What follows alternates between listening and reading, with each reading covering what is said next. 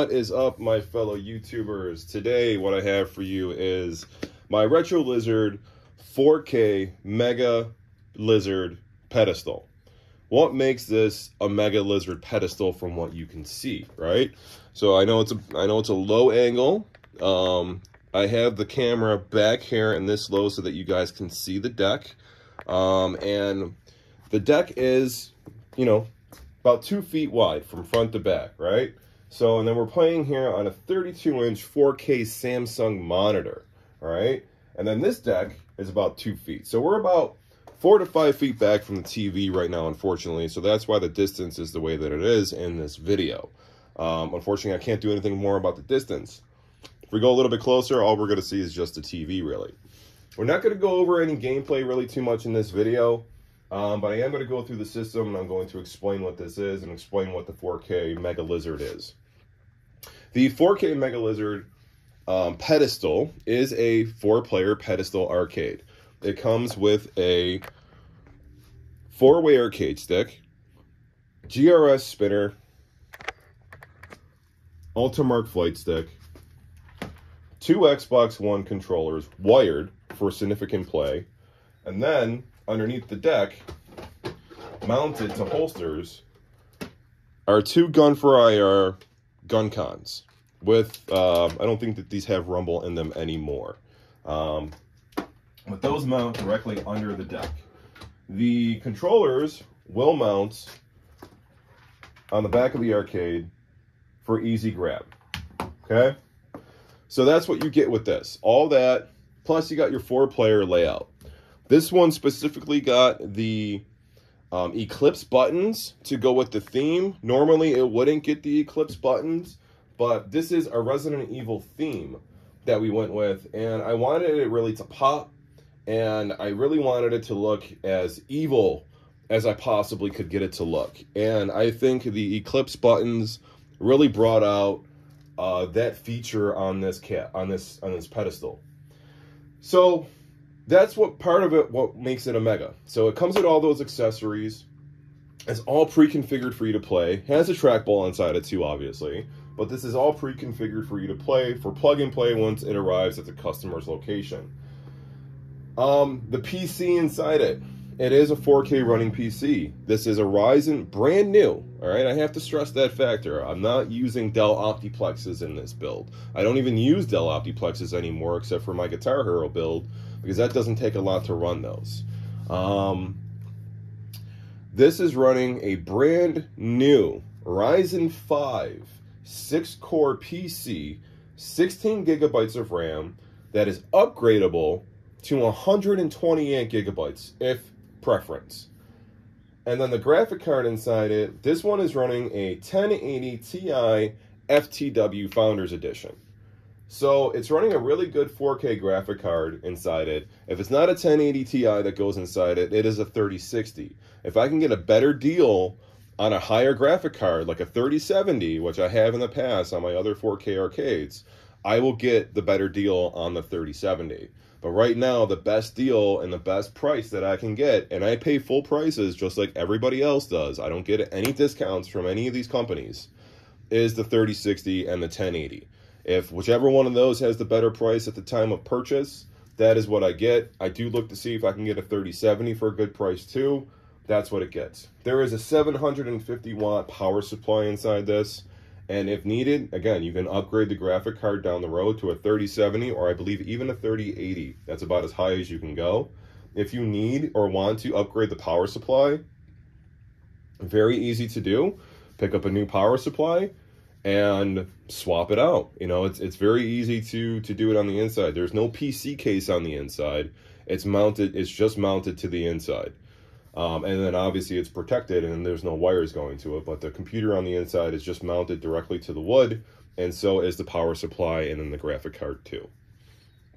So the other part that makes this a mega is the size of the build. Uh, this is a 20 terabyte hard drive, only with games on it. The main SSD drive is a 256 SSD um, that's on this one. And the main, the gaming drive is 20 terabytes split into three drives and it has just about 16 and a half thousand games on it. And we have everything from standard arcade. We're going to move forward a little bit now. And we can raise up a little bit.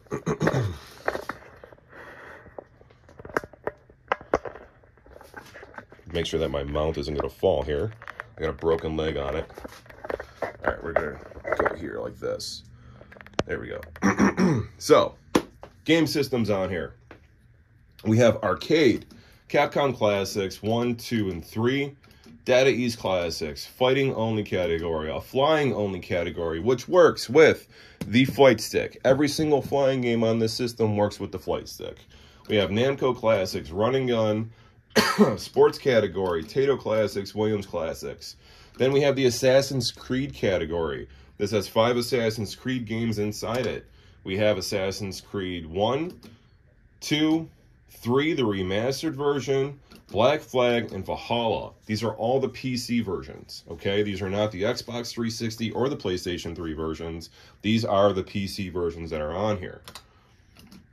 We have the 2600, the 7800, the Atari Jaguar, the Lynx. The Batman collection is here, but I think I'm going to take it out. I only have two Batman games in here. We have Gotham Knights, and then we have Arkham Origins in here. I don't have any of the other Arkham games. So I think I might remove the category and just leave these in the category that they're in, which is Windows games. Uh, we have the Vectrex. We have the Halo uh, section. The Halo section is consisting of Halo Wars, which is the Xbox 360 version uh, the original Halo game, which is the original Xbox version, the Master Chief Collection, which has Halo 1, 2, 3, 4, and Halo Wars inside it. Um, this is the PC version. We have Halo 2, which is also the original Xbox, Halo Infinite, which is the Windows versions, and then we're back to Halo Wars. The Halo, why do I have the Master Chief Collection and why do I have um, Infinite under Windows if you can play it on the other systems? The PC versions run better than the console versions. The console versions do run okay, um, but the PC version definitely runs a hell of a lot better, and you can get a better upscale 4K image to it. So that's the that's the Halo collection. We do have the light gun collection here, uh, which has it's got a total of this says it has 66 games inside it, but there are definitely a lot more light gun games than that in the system. Um, this pretty much runs my regular uh, what do you call it? This runs my regular light gun system that I have on it. Uh, I believe that might be just the arcade only version. We have the Super Mario Brothers collection, which has 108 different Super Mario Brothers games. We have the Metal Slug collection, which has 17 Metal Slug games inside it. Then we have the original Xbox collection, which has 83 original Xbox games. We have the Xbox 360, which is the library. Um, this has a total of how many games? Just waiting for the bottom to switch out, and it's not, but it's right around a thousand games. Xbox Live Arcade uh, has about 16 games inside it. We have the Mortal Kombat collection, which has 54 Mortal Kombat games, and it goes up to Mortal Kombat 10. Mortal Kombat 11 I do have, but the problem is, is that it doesn't play or load correctly all the time, so I removed it from the system and we just go up to 10. We have the PC Engine, CD-ROM, PC Engine, TurboGrafx, TurboGrafx CD, Nintendo 64, uh, Nintendo 64 DD, Nintendo DS collection, Nintendo Entertainment System, which is the NES, the Game Boy, the Game Boy Advance, the Game Boy Color, the Nintendo GameCube. That's the library. There's 620 GameCube games on here. We have the Nintendo. We have a Nintendo Switch section, which has 94 Nintendo Switch games. Virtual Boy, Nintendo Wii, and the Nintendo Wii. What I forgot to also mention is that this does come with the Dolphin Bar and two Nintendo Wii controllers that are that also come with this. So you can play the Wii games as, as you're supposed to. Uh, we have the Resident Evil collection, which has 32 Resident Evil games inside it over all the systems. We have the GameCube versions. We have the Sega Saturn versions. You can see we have Resident Evil Village, uh, which is the PC version. We have got the Umbrella Chronicles. Uh, we got the Dark Side Chronicles, we got Survivor, we got Revelations 2, Revelations, Raccoon City, the original Resident Evil Director's Cut for PlayStation 1, Dead Aim, Resident Evil 0, Gaiden, uh, Resident Evil for the GameCube, um, Archives, which are two discs. Resident Evil 7, which is Biohazard. This is the Windows version. We have a couple versions of Resident Evil 6. We do have the Windows version, which plays a hell of a lot better than the PS3 version. We have Resident Evil 5. uh, which is also the PC version. Runs great. Resident Evil 4 for Wii. We have a few Resident Evil 4s. We have the PS2 version. We have Nemesis, which is our three versions. We have GameCube, Dreamcast, and PlayStation. And then you have the remake of Resident Evil 3, which is also a Windows version. We got the Resident Evil 2 for PlayStation, which is a double disc. There's the other disc right there. Uh, Resident Evil 2 for GameCube. Resident Evil 2 for Windows, which is also the remake, also plays fantastically. I would prefer the Windows versions over the um, console versions, but the PlayStation regular versions play great, and so do the GameCube versions. Those play absolutely fabulous too. Of course, we have the Nintendo 64 version, Resident Evil 2 for PlayStation 1, uh, back to GameCube then. So, then we have the Atomiswave, 32X, Sega CD, Dreamcast. These are these are all the libraries too. You know, 259 Sega CD games, 264 Dreamcast games, 249 Game Gear, Genesis is 696, Mega Drive Homebrew section, which is 182 homebrew games, um, the Master System 271, the Japanese Mega Drive, which we have 52 on there. We have Naomi, we have Sega Saturn, which is 303 games, the SG 1000, the Neo Geo. Uh, this is Neo Geo Arcade. We got the Neo Geo Pocket, Neo Geo Pocket Color, PlayStation 1 has 961 games inside it. PS2 has 623. PS3 has 142. But when it comes to PS3 and Xbox 360, you got to keep in mind that those emulators are still being developed. Uh, games do crash on those. Some of them don't play fantastically, but they're awesome in here. You know, I apologize. There's no snap video for PlayStation 3, but Big Box and EmuMovies didn't provide one, so I can't. I don't have one. um, but they're still on here. The ones that play on here definitely play, or most of them do play. I haven't tested out all 142, but at one point I dropped this list down from the 1,000 that I had down to 142. Uh, we have PSP. At 396, we have Star Wars games. Um, there's 65 different Star Wars games inside here, including Trilogy and including Battle Pod. Um, we have Street Fighter Collection, uh, it goes all the way up to Street Fighter 4, the arcade game, plus everything in between. Uh, we have the Super Nintendo collection. We have the TeknoParrot collection. TeknoParrot has 149 TeknoParrot games that are all individually um, configured. we have Windows. We have Wonder Swan, uh, Wonder Swan Color, and then we have the 3DO, and then we're back to arcade. But let's go to the Windows games, because the Windows games have the most current games inside it. As you can see, we have 51 different uh, Windows games inside here. And this does have my light gun window games inside here. But then we also have current games uh, that have come out. Um, this is Killer Instinct, the HD version that plays with, these all play with controllers too. These do not play with arcade sticks. The light gun games will play with the light guns. We have the PC version of Ocarina of Time that pumps out in full HD that we can get it up to 4K and it fucking looks amazing. Of course, we have the gun games, Mortal Kombat 10, like I like I said, Red Dead Redemption 2. Then you got the Resident Evil games that I said that we have the PC versions of, which goes up to Village. We do have Jedi Fallen Order, which is, I mean, that's just an absolutely fantastic game. Street Fighter versus Tekken, uh, a Ninja Turtle PC game, and then we have Shredder's Revenge. Again, you have to use controllers with all of these. Um, these are not working with arcade sticks the way that I have it wired up. Tekken 7, you also need, unfortunately, you need a controller to play that one. Um, Marvel vs. Capcom 3, The Witcher Wild Hunt, WWE 2K23, the Assassin's Creed games I showed you that are in the category for Assassin's Creed, Batman Arkham Origins, which you've seen.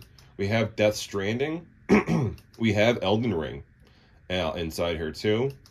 Forza 5, God of War, the one that came out for PS4, Gotham Knights. We have the Grand Theft Auto 8 Definitive Edition collection with uh, Grand Theft Auto 3, San Andreas, and Vice City. We have Hades. I showed you Halo Infinite. We have Halo Master Chief Collection. And then we have Hogwarts Legacy, the deluxe edition inside here too. So this window section alone is at least two but two terabytes, maybe three terabytes big. Um, and I do have it separated on the drive, and that's why the drive is in three sections too. Originally, this was my 16 terabyte drive that I had divided up into two sections, One section being the majority of all the games except for Xbox 360 and PlayStation 3. And the Xbox 360 and PlayStation 3 go over to um, a separated drive, which is about 8 terabytes big. And then there's another 4 terabytes of open space, um, or at least 3 terabytes of open space, because I added about 1 terabyte of window games um, to this build, where you've seen Halo and the Resident Evils and things like that. Building a Resident Evil pedestal, I had to have every single Resident Evil game that ever came out. Had to. How could you have a Resident Evil pedestal that didn't, right? So, as you can see, it's in there, and this is this is what the pedestal is. This is how it comes about. Um, the 4K gaming looks absolutely fantastic. Um, we can load up a couple games here. I'll show you the arcade games. Uh, there is no sound. You don't hear sound right now. Why don't you hear sound? Because the arcade I have it hooked up to, I don't have the sound bar hooked up yet inside this. And the pedestal will run off of your TV when you plug it in through HDMI. The Samsung monitor that I use does not have speakers on it. So therefore you can't, I don't have sound right now, unfortunately, to put out sound. But arcade games look fantastic. We'll go ahead and load, load this up just for a little demonstration. so you can see what at least an arcade game looks like. I do have the scan lines on. If you're noticing, why does it have scan lines? I think they play better with the scan lines on. So it does have the scan lines.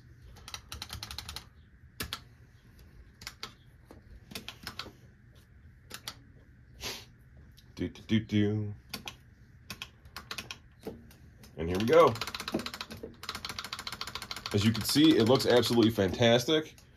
You know, the 4K, uh, this is, you know, this is 4K upscale. The way that MAME works is that it automatically upscales to the resolution of the TV that you're running and the configuration that you have on your PC. So if you're running a 4K PC, MAME automatically sets it up and automatically runs you in 4K.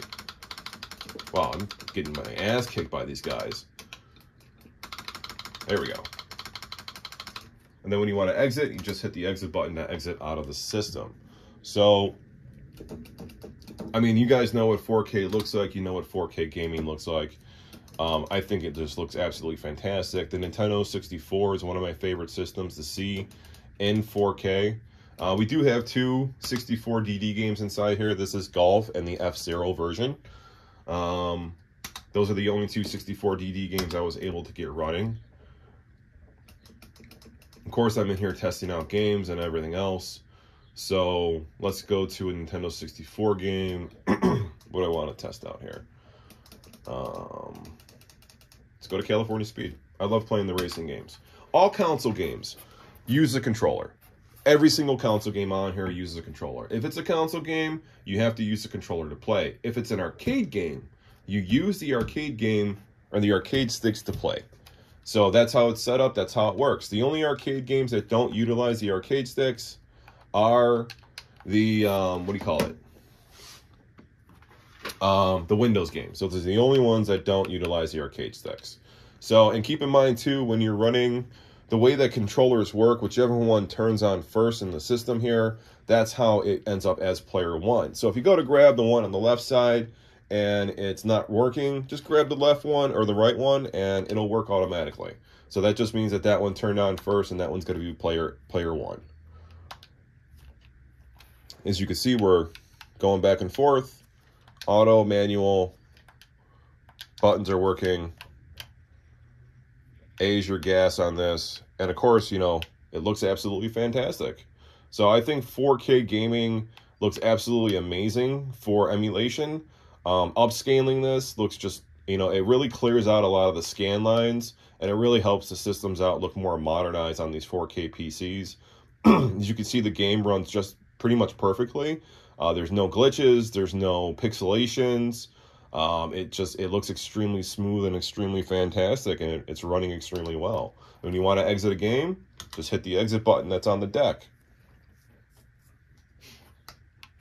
And then it goes back into here. Little glitch sometimes on that. The controller will also run um, the systems here too, so you can use the controller to scroll through if that's what you're playing with, or you can use the arcade sticks also to do that. the main way to enter a game is the enter and exit button, which is on the deck. Um, the the spinner has two buttons next to it, which turn this over here and see if I can show you guys if I can move this down. There we go. These two buttons right here, red is enter and white is exit. And then when your, your coin and your start buttons are up here, white is your coin button, red is your start button for all games. But these main two buttons right here are exit and enter. That's how we have it set up. Nice and easy peasy. So let's go to a, a Windows game so you can see a good HD. Where's the Windows games? I just flew right by it. Windows games. Why don't we go to Resident Evil 2, huh? and since this controller on the right was the first player controller, I'm assuming that this is going to be the controller that is first player on here.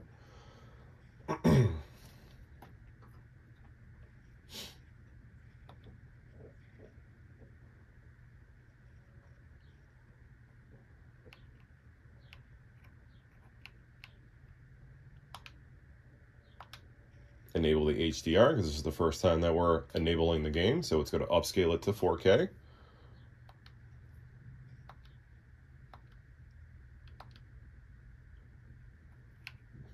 Do not connect to the net because, you know, we're playing on a PC.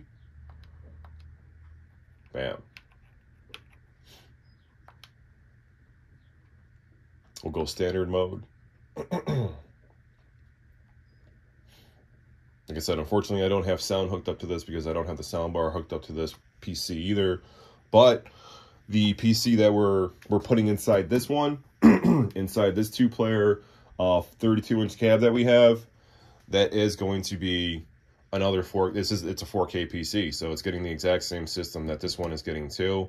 Um, the difference is the, the customer sent me the light guns that they own. He owned the, I believe it's the Namco or the Super Jolt guns. Uh, for Gun4IR, I will only use Gun4IR on my PCs.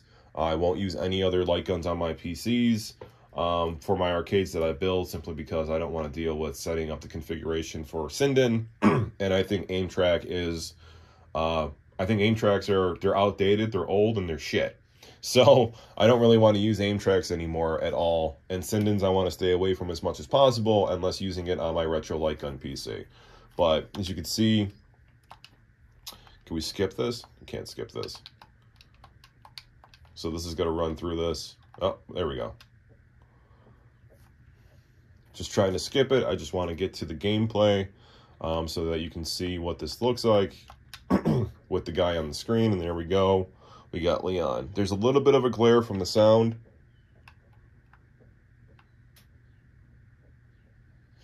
But otherwise, it looks absolutely fantastic.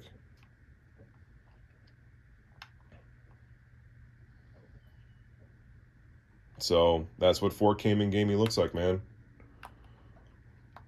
I believe there's a zombie in here once we get inside. there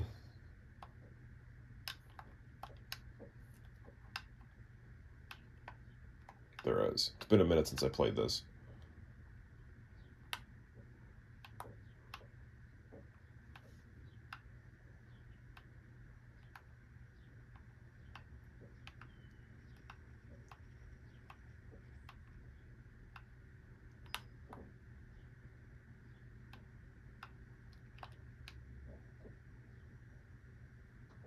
There's the zombie.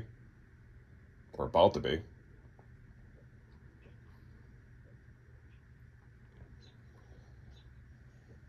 Nice and bloody.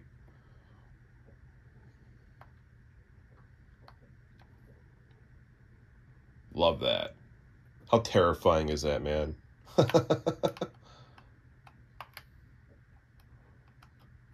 One more in the head. It's crazy that it takes three bullets for them to die.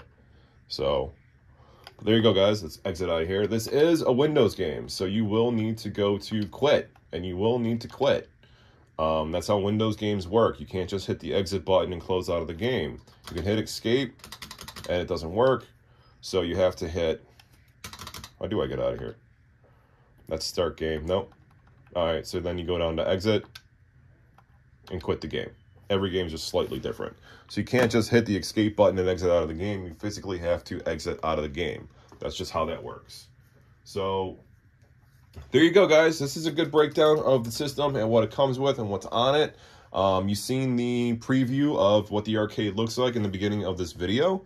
Um, and this is 4K gaming, you know, and this is this is everything that it comes on it. And this is the most biggest and ultimate build that I can include with everything. Price range on this. Um, the customer that got this, I do want to advise, um, he did get a little bit of a discount because when he contacted me, he was looking for a pedestal, and I did not offer the 4K pedestals yet um, at all. So there was no 4K gaming. I didn't have an ultimate option yet. We talked about it, and I was talking about my system and what I had, and we ended up coming up with the idea of the 4K. Uh, it was originally the 16 terabyte drive, and then it turned into a 20 terabyte drive. Um, because I needed, I wanted to make sure that if we were going to be building something this big, that there would be extra room on this PC to add numerous games down the road as the customer wanted, you can run, if you have a Steam subscription or want to make a Steam subscription, you can create a Steam subscription also with this PC. And you can add your Steam games to this build. They will go under the Windows games because Steam games are Windows games. Um, and then you can continue to add up to three more terabytes of games. As new games come out throughout the year, like if you want to place, if you want to go on your Steam account and you want to play Jedi Survivor on this, you can play you can download it from Steam, you can add it to this system, and you can play Jedi Survivor through the system. Or you can exit out of the system and play Jedi Survivor outside of the system if you want to on a regular Steam account. You can exit the front end. To exit the front end, you hit the escape button and you get back to this big box menu here. And then you can go down to exit, press the enter button, and now you're back here in Windows. And that's where it is. This will automatically load up into the big box front end. Uh, once it's in the big box, it will automatically load up. So as soon as you turn on this PC with my remote switch, it is automatically set to run and turn on to big box. Loads directly into the front end. When you want to shut, we'll do shutdown in a second, but and then we'll we'll continue on with the pricing. But like like I was discussing, um, the price of this, the customer did not pay the price that I have listed on my website. I want to make everybody aware of that. We came up with this idea because the customer came up with this idea. I do this with all my customers when we come up with new ideas. I will provide them a discount on what we're doing because it's going to be the first time they help me brainstorm it and that's what we're and that's what we came up with. So the customer's idea to do this 4K ultimate build and then use my 20 terabyte drive inside it um, because he wanted to put he wanted it to be like the ultimate gaming PC. He wanted it to be the most biggest and ultimate build. He wanted it to be his end all, is what it is. He didn't want to have to go out and buy another arcade, um, unless you're using a racer, of course, um, because there's no steering wheel on this. But he wanted, and there can't be a steering wheel on it either. But he wanted this to be basically his end all. And that's where the goal comes in for the Mega. The Mega is meant to be the end all. Any racing game that's on here, you use the controller to play. Any of them. Um, any arcade game that's on here, you use the arcade sticks to play. The four-way stick is for Dig Dug and Donkey Kong. It automatically plays with it. Um, trackball games play with trackball games. Light gun games play with light gun games. Spinner games play with spinner games. Flight stick games play with flight stick games. Um, it is an end-all ultimate PC with enough room on it and enough technology inside it to where you're going to be playing games on this and you can download games that come out over the next 10 to 15 years and you can upgrade the PC as much as you need to with RAM, a new graphic card, and a new power supply. Obviously, sometimes the higher you go in graphic card, you need to make sure that the power supply you have will power that graphic card but if you need to replace the power supply that's inside here, very easy to do. It just unplugs and plugs in. That's It's very easy to do that. But this Ryzen 5 6-core CPU inside this will be running games for a very, very long time. Simple as that. So, um, to exit the system and shut down, you would click the escape button, which takes you back to this menu. I call this the options menu. You go all the way down to the bottom, and you click shut down. Okay, you hit the enter button, it shuts down the entire computer and it shuts down it shuts down the build. So as you can see, it's shutting it down right now. This is how the proper way to shut down. Um, and like I said, you can exit the Windows screen and you can get back to, um, what do you call it? You can exit the Windows screen and you can get back to Windows and you can play your Steam games from there. You can do everything else from there. And once you see no signal on your screen, you take the remote and you click the off button on the remote and then it shuts off the lights. The lights are separately powered. Everything runs through a power strip on the inside of this. So right now the computer is off, but the lights are still on. So you just hit the off button on the remote and it turns off the rest of the buttons. That's it, guys. This is the Retro Lizard 4K Mega Pedestal. Um, thank you so much for watching. Thank you so much for subscribing. This is available on my website. It is under the pedestal collection, under the product collections, and it's also under my mega collections too. I also have four player full size mega PC or mega arcades. I have a 32 inch, which was what you see in front of you. It is a two player mega. And then we all, this was upgraded to the Mega, by the way. This originally two-player wasn't going to be a Mega. We upgraded it to the Mega. And then we also have four-player, 43-inch, full-size Megas. And that thing is a fucking beast, man. Um, you definitely, if you want to get it in the house, you need double doors to get it in, or it's going to be in your garage. So it's, it's huge. Probably weighs about 300 pounds. Um, it's about six and a half, seven feet tall. It's the biggest arcade that I can build. It is, it is a real mega. That's what it is. So thank you so much for watching, guys. Stay tuned for more videos. Uh, if you have any questions, feel free to send me an email. My phone number is on the website too. My hours are 10 a.m. to 3 p.m. Eastern Time. Those are my regular business hours. If we do have to schedule a login for any reason, I do have the business hours and then I can do evenings at scheduled times only between 8 and 11 p.m. If you contact me after hours, you will be responded to on the very next business day. Do not expect a response from me if you're messaging me directly or if you're sending me an email or calling me after business hours, especially at night. Um, I don't mind if you guys contact me in the evenings um, or at night, but do not expect me to answer and do not expect a response until the very next business day. If it's Saturday, you're not getting a response until Monday. So that's just how it works, guys. So I appreciate everybody's patience. I appreciate everybody's time and everybody's support. And uh, stay tuned for more videos. We still have this one to do. I have five racers in here that are that are being built. Two of them are done. Three more are being built. I have another mega pedestal coming, and then of course I have the new Time Crisis light gun that's being built too. That's not a four player, but it's the new cab. So thank you so much for watching, guys.